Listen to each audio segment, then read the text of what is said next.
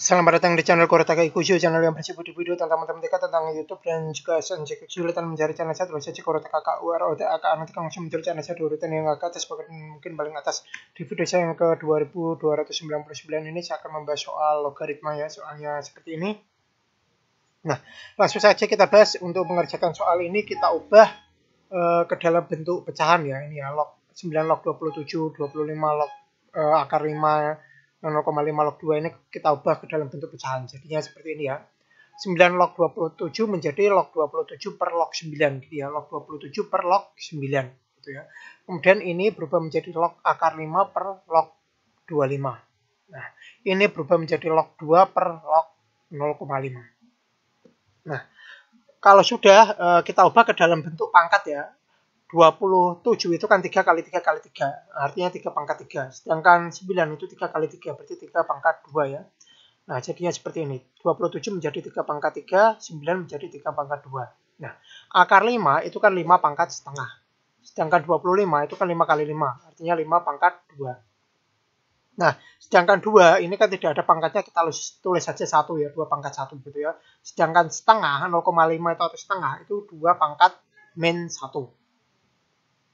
Nah, kalau sudah tinggal kita tulis pangkatnya saja ya. Berarti ini 3 per 2. Gitu ya. Nah, 3 per 2. Tulis 3 per 2. Setengah dibagi 2. Setengah dibagi 2. Tinggal ininya dikalikan. 2 kali 2, 4. Berarti seperempat. Nah, 2, eh ini ya 1 dibagi min 1. Itu kan min 1. Karena ini min dengan min jadinya plus ya. Jadinya plus 1. Kalau sudah tinggal disamakan penyebutnya menjadi 4 semua penyebutnya ya. Ini berarti tinggal kalikan 2 ya. Kali 2 kali 2 berarti 6 per 4. Nah, kalau ini kali 4 per 4 ya. Jadi 4 per 4.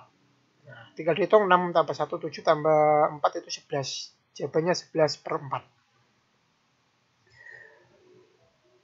Nah, kurang lebih demikian ya video saya kali ini. Semoga bisa dipahami. Jika masih belum paham, bisa ulangi lagi videonya. Jika masih belum paham, ulangi terus sampai benar-benar paham.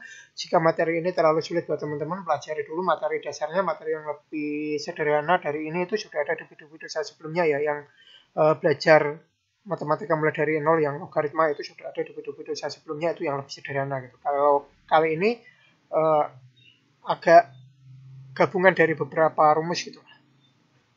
Nah, jika ada kesalahan dalam perhitungan, pengucapan, dan lain-lain, mungkin saya kurang teliti sebagai manusia biasa harus dimaklumi jika mengalami kesulitan di materi ini maupun materi-materi yang lain juga boleh berikan komentar, tanggapan, dan juga pertanyaan. Kurang lebih demikian, semoga bermanfaat. Jangan lupa like, subscribe, share, jaga lonceng, memberikan komentar positif sesuai isi video saya, tonton juga video-video saya yang lain. Jangan komentar spam, jangan komentar ke pasta, jangan komentar ke link, jangan komentar minta subscribe, jangan komentar minta dikunjungi. Yang paling penting jangan melanggar peraturan YouTube dan jangan mengajak melakukan melanggar YouTube. Terima kasih sudah menonton video saya ini sampai selesai.